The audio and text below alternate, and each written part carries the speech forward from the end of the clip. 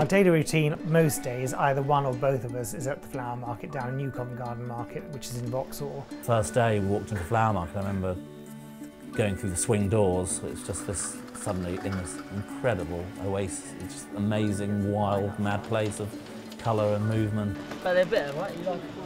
No, I don't. Oh, yes, I don't like them. I don't like them with that in.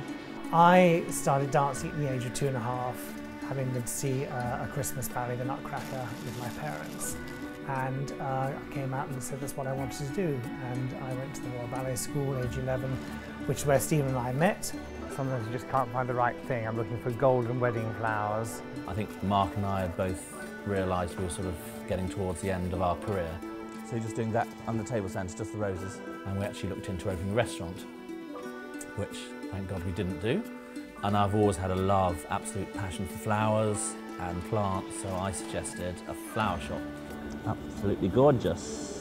So we decided to hook up together and start the business in 1994. The discipline of ballet really translates well into this job. That sounds very odd, but obviously life of a ballet dancer is incredibly di disciplined. You know, if somebody says they want a bunch at 2.45, they get their bunch at 2.45.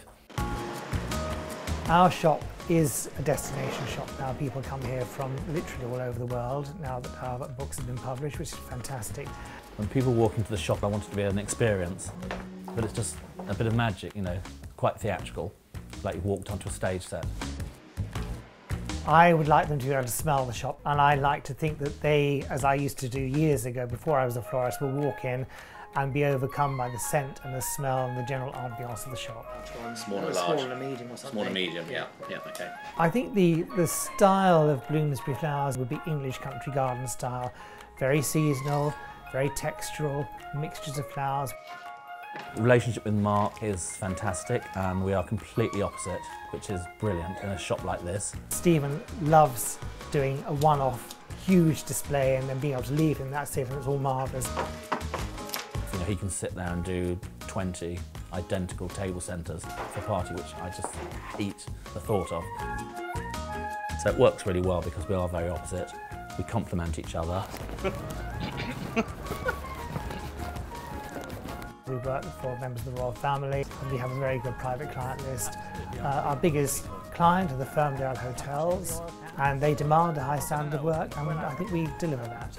You know, we've been brought up in the Royal Ballet, which is one of the greatest ballet companies in the world, where the production standards are so high, you know, everything has to be perfect. So, you know, we just don't let things leave the shop unless they're perfect. Hi there. One for Kevin. One for Marinella for tonight. Thanks very much. Okay, thank Thanks you. See you later. Bye, bye. The book is our second book called Simple Flower Arranging. It's moved on incredibly from our first book that came out in 2011. It's absolutely beautiful.